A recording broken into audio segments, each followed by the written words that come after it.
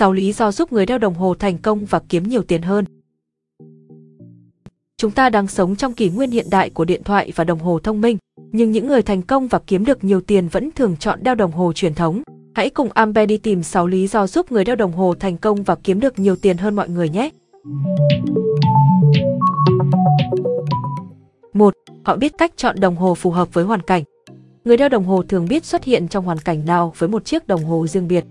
Trong một sự kiện sang trọng thì một chiếc đồng hồ phong cách lịch thiệp sẽ nằm trên cổ tay họ. Nếu tham dự một buổi thể thao hay một vận động viên bơi lội, chắc hẳn một chiếc đồng hồ có chức năng chống nước là ưu tiên hàng đầu của họ. 2. Am hiểu thời trang. Ngày nay, việc đeo đồng hồ sẽ chứng tỏ bạn rất am hiểu thời trang và có phong cách chuyên nghiệp. Đeo một chiếc đồng hồ sẽ chứng tỏ được họ đang ở trong một môi trường công việc cao cấp. Chắc chắn việc kiếm được nhiều tiền sẽ là hiển nhiên. Có một số công ty lớn, việc đeo đồng hồ sẽ là bắt buộc để làm tăng hình ảnh doanh nghiệp. 3. Chú trọng chất lượng.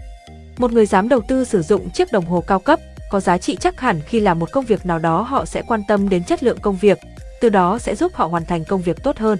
Đó là lý do tại những người thành công sẵn sàng chi 10.000, thậm chí 100.000 USD cho một chiếc đồng hồ. 4. Những người giàu xung quanh.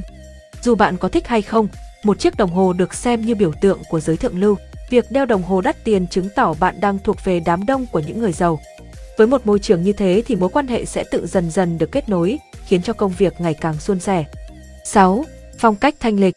Trong những công việc ở vị trí cấp cao hay tiếp xúc với khách hàng, tiếp xúc với lãnh đạo, một chiếc đồng hồ chính hãng cao cấp truyền thống, sử dụng dây kim loại phối với một bộ vest công sở trong bạn sẽ chuyên nghiệp hơn nhiều. Ngược lại trong môi trường công sở, những chiếc đồng hồ bằng dây cao su thì không nên sử dụng nhé. Chúng chỉ phù hợp với môi trường ngoài trời như thể thao, bơi lội. Nếu phối chúng với một bộ thời trang công sở thì trông chúng hơi kỳ cục. Cảm ơn bạn đã xem video trên kênh Ambe. Nhớ nhấn nút đăng ký bên dưới và xem thêm các video mới để ủng hộ shop nhé.